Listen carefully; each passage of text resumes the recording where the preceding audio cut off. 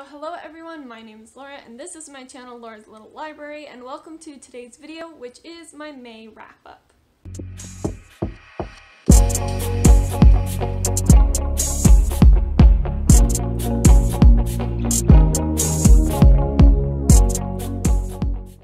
So in the month of May, I read 21 books. Yeah, it's gonna be a long list. Uh, I will say six of them were manga, which makes it a lot easier. So then I have 15 like novels to talk about this month. So I'm just gonna go ahead and get started then. First up I have Curse of the Spectre Queen by Jenny Elder Moke and this I hyped up for myself so much but in the end it was only a three star. So I was super excited about this book. It's a 1920s gender swapped Indiana Jones with Celtic mythology. And I love every aspect about that. I love that it's historical. I love that it's Indiana Jones type, so like treasure hunt. I love that it's Celtic mythology. Like that is a huge passion that I have. I love that it's gender swapped. So we, the Indiana Jones character is female, our main character is female. But I ended up being very disappointed in this book. And again, a lot of that is because I hyped it up for myself, so that is partially my fault. I still think it's a good book. Like, it's 3 out of 5 star. I think it was good. I think it was fine. She's got another book coming out later this year, Rise of the Snake Goddess, and I plan on reading it because I'm hoping that as she publishes more books, her writing will get better. I loved the characters. The characters I did not have an issue with. Our main character, Sam, was really fun to read from. She's a little more introverted and not necessarily this big extroverted adventurer. That's her friend Joanna and their brother, uh, who is the love interest. And so I very much enjoyed the characters. However, I felt the pacing of this book was completely backwards. I felt the beginning was very slow and it kind of had a really good build up. Like I didn't mind that it was slow. It took me a little bit to get through, but I just kept getting more and more excited about what was going to happen. But then the actual Indiana Jones treasure hunt, like solving the clues, going from place to place, happened in like the last 40 pages of the book. It was super rushed. It seemed way too easy. It was not very well thought out. Uh, there was very little description. I was confused on what was going on. Like, were they going somewhere? Were they not? What did the land look like?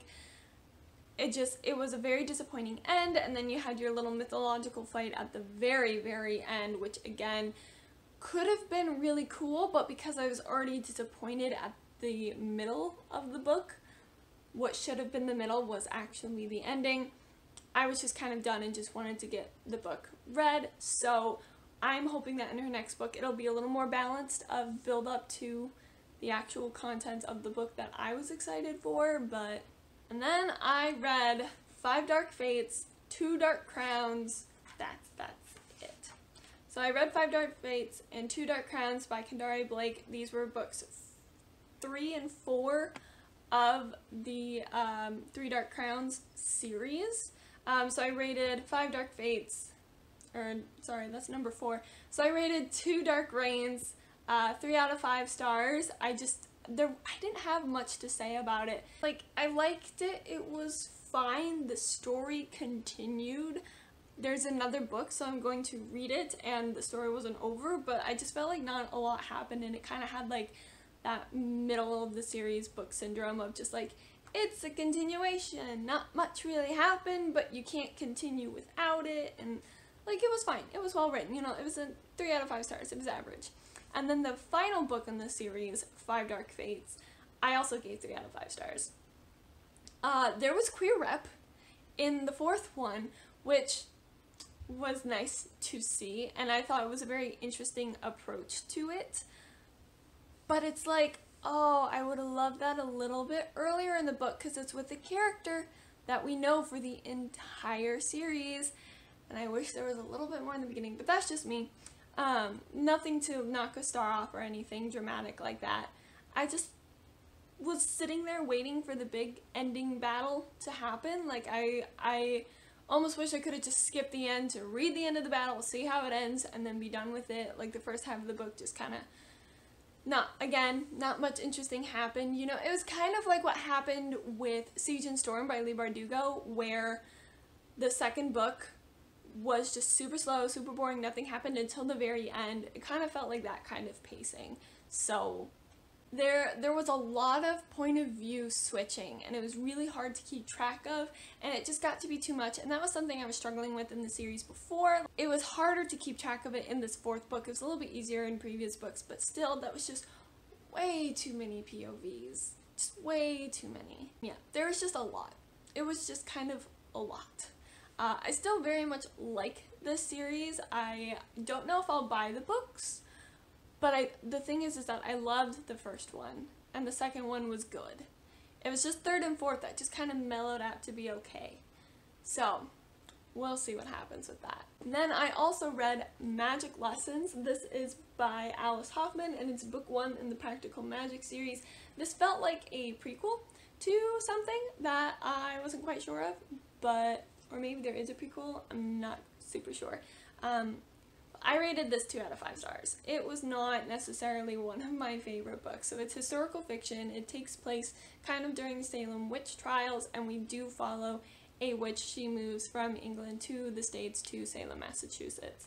This one, it gave, it felt very much like 10,000 Doors of January, which if you've been on my channel, you know that I loved that book. It had that similar style of storytelling, but I don't think it quite pulled it off because I didn't like the story as much as I thought I would. I will say I loved that there were different like recipes and meanings and educations about witchcraft in the book and that was a really fun like way to break it up and to read with but it it re-explains the same thing multiple times and it does that with multiple things where it's like so here's something to know here's the mini explanation behind it and then a couple pages later here here's the same thing that I just told you and I'm going to explain it again. And it does that a couple times, so it got a little repetitive in the writing, and it just really took me out of the story.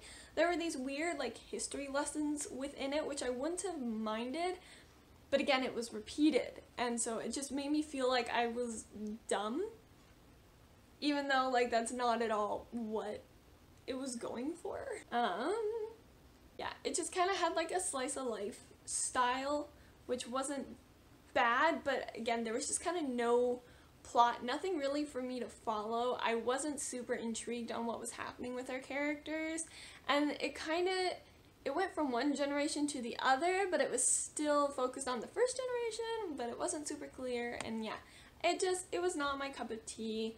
Uh, two out of five stars. You know, I might not recommend it, but it is what it is. I also read Six Crimson Cranes by Elizabeth Lim. I, this is weird. I need to hold it on this side of me. I don't know why. Uh, and I loved this one. This was a 5 out of 5 stars. I loved Elizabeth Lim's other duology, and I love this one so far. The second one, The Dragon's Promise, will be coming out soon, which is super exciting. Um, it's nice and fast-paced. I really liked the main character a lot. I loved how she used her magic. I love her personality. I love the way the plot affected our main character. So this is based off of Chinese mythology, but oh, I just love how just how it all played out, how the mythology played into things, but how it was not modernized because it's still like it's a fantasy world, but I just I loved it so much. I love the magic system. I love like the mystery, the twists and turns that happen. Like you're adventuring and then something happens and you're like, oh crap, now what are you gonna do? Oh, it was so good. The twist ending. I'm so ready for the second book. I swear though, if it's a love triangle, I am going to be very upset. But only the second book will tell. But oh well. Like it had a it had a good cliffhanger ending and so I cannot wait for the next book to come out. The writing was beautiful, the characters were amazing, the world building was great. Ah, oh, there's just so much goodness and richness here and it was all beautiful. Like it matches the beauty of the cover. And then shortly after, I read The Girl Who Fell Beneath the Sea by Axie O, and this is a story based off of Korean mythology, where our main character sacrifices herself so that her brother's girlfriend doesn't have to be sacrificed to the sea god to try and wake him to stop all the terrible storms that are happening on her, at her village and her land and whatnot. Lo and behold, only to find out that the sea god is not angry, but that he is actually asleep, so she must travel through the spirit world to figure out how to wake him up. And I enjoyed this book.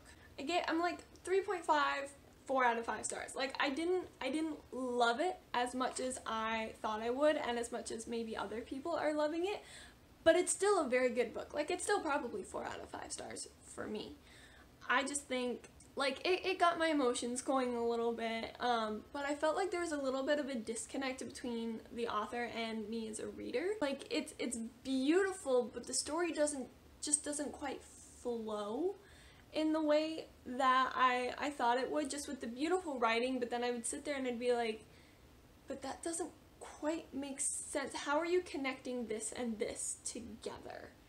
Like, like I just didn't, it didn't flow as easily, and it wasn't quite as easy for me to read, not because it was artistic, but just like we'd be in one place and then all of a sudden we're at another, or maybe it's the same place, just called something different. I don't know. I just had a couple struggle moments. And it does feel a little watered down. I don't know if that pun was intended. I could not tell you if the pun was intended or not. But like it's it's just not quite as rich as it could be. And not that it was slow, but just that it could have been a little better. I also will say sometimes a scene would just kind of fade to the end, even though it didn't feel like it was the end of a scene. Like it would just drop. Once we had the information we needed, it would be cut off and we'd just be done rather than like a kind of final wrapping up or a transition into the next scene because then you know the next scene would just start and it would was it a different day different people like it just once you got the information you needed you kind of moved on. And so i think that was another issue i had and why it didn't flow. Um, but i will say i loved the romance. The characters were pretty good. I liked them. Um, but the romance was probably one of the best parts and that was just saying and that says a lot considering the romance got really confusing at the end. Yeah, the romance got confusing, but because you know there's a lot of back and forth and it wasn't necessarily a love triangle in the traditional sense like i didn't hate that per se but it was just a little weird in my opinion but again still a four star I still highly recommend this book. Just because I had these few issues with it doesn't mean that it's not a good book or I think other people won't enjoy it. Like, I still very much recommend. It just, I was expecting it to be a five star read, and it wasn't. But it's a four star read, which is still very good. I also read volumes 6 through 11 of Silver Spoon. I am currently holding up volume 15 because I have uh, volumes 12 13, 14, 15 of this, and that this is the end.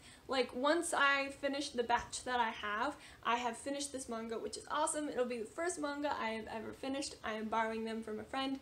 So, yes, I read six more volumes of Silver Spoon.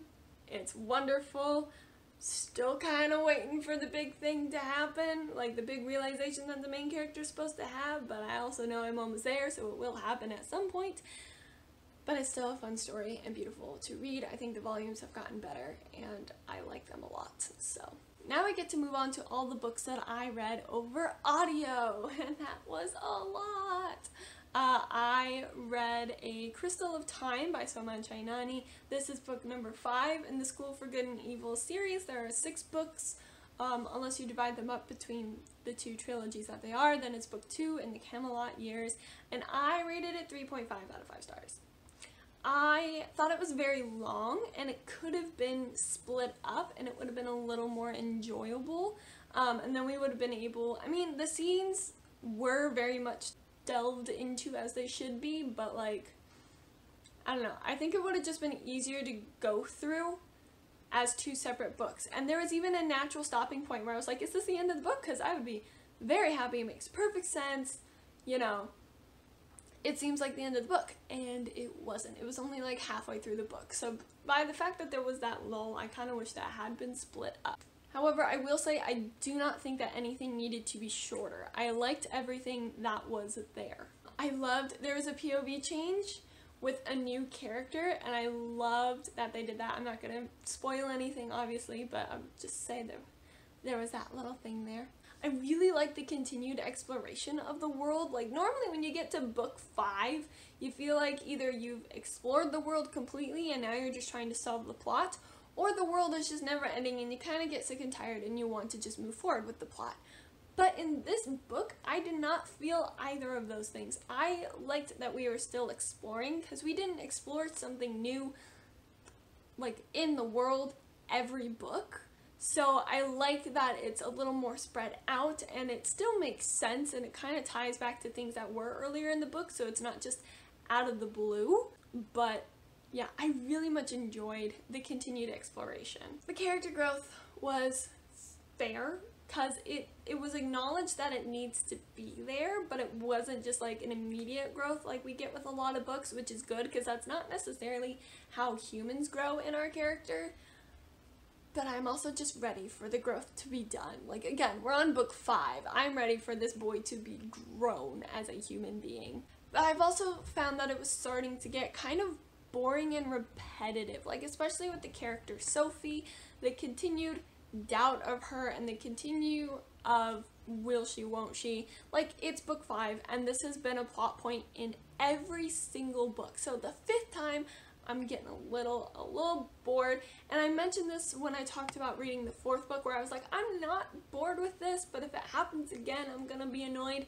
It happened again, so I'm a little annoyed. So, you know, like, it was long, but it was good, but it didn't feel very unique and I'm just kind of ready and there was just so much happening um, that I think some of it could have just been taken out but I mean not really so yeah that review did not make a lot of sense but those are my feelings sometimes my feelings don't make sense Next up, I read The Blade of Secrets by Tricia Levenseller, and this I also gave 5 out of 5 stars. I absolutely loved it. It follows our main character, who is a bladesmith, but she also has anxiety, and she ends up creating this weapon, The blade of Secrets, It's way too powerful for this warlord who wants it. So she's like, no, we're gonna run away. So she takes her sister and they meet up with a couple other people and they kind of run away with the sword to make sure that the evil warlord doesn't get it. And I I also have anxiety and to read a fantasy book with a main character that has anxiety was so nice and refreshing. Like I just could not believe it. It made me so happy. It made me feel seen. It made me feel like I can still be a main character of my own story, even though I have anxiety, even though I have no idea how to talk to people. And I rerun scenarios in my head of how it could have been better and how I messed up. And like, I was I was really able to relate to the main character. And everybody's anxiety is different. And there were a few areas where I was like, okay, I don't quite relate to that, but I understand, like, that is still a struggle. so, I very much enjoyed the characters and I liked her sister and the love interest and like I like how all that panned out. It is the first book in a duology. Master of Iron is coming out this summer and I'm very excited to pick that up. I loved the magic system, how it all works. Magic is outlawed, but she has it, so like, oops. And just like what she does with blades and family and oh, I, I very much loved this book and I very much recommend it. And then the final book that I'm going to talk about is The Henna Artist by Alka Joshi. Um, this is a 1950s historical fiction taking place in Jaipur, India, and I rated it 3.5 out of 5 stars. I liked it. Again, it's a little more slice of life, kind of, I'm using these manga terms, but um, for this historical fiction, I was really excited to read it. It was not like anything I have read before, but just know that there are some triggers going into it, specifically abortion and things of that nature. So just if you're interested in it, just know that that is a thing and be cautious. It really, it kind of reminded me a little bit of Call the Midwife, which is a TV show that I watch with my mom and we both adore, and my aunt adores it. So Call the Midwife, it's about midwifery in the 1950s, but in England. Um, so it was really fun to read about the same time period, but in India. It was just so much fun. It's a little slow. It's very interesting, and I was very fascinated to read it, but it was very slow moving. And there were some interesting family dynamics in there, and I loved the woman empowerment in it too, where she is a working woman and she's going to build herself the house of her dreams that she wants. So I really admired that aspect of it, and especially because it was probably not easy in those times to be a non-married independent woman. It was just a beautiful story. It was well written and beautiful even if it was slow and I didn't feel like a lot of things were really happening. Um, it took me a while to adjust to the cast just because there were quite a few cast members, a lot of characters, and that would just kind of pop in here and there. But in the end, I was very like happy that I read it, and it was it was a good book. So I obviously have not talked about 21 books. But the thing is, is that all the rest of the books that I read in May are my Disney Twisted Tales because I am currently filming that vlog. I'm almost done. I'm on the last book. It's super exciting. Um, so I'm not going to talk about those books here, especially because I've read so many books that this video is going to be ridiculously long if I did talk about all of them. But I will talk about all of them in the vlog. So make sure you subscribe and hit the bell to be notified because that vlog will be going up fairly soon. Hopefully in the next week or two, depending on how long it takes me to read the final book. Um, but I do have all of them. And I had read some before the vlog, so, but I will talk about all of them in the vlog. So like I said, make sure you subscribe so you don't miss that. Otherwise, give this video a like, a thumbs up if you liked it. Comment down below if you read any of these books or what your favorite book was in May that you read. Um, I have bookish social medias linked down below that you can follow me there and keep up to date with me a little bit more. And I think that is everything. So until I see you all in the next video, I wish you happy reading.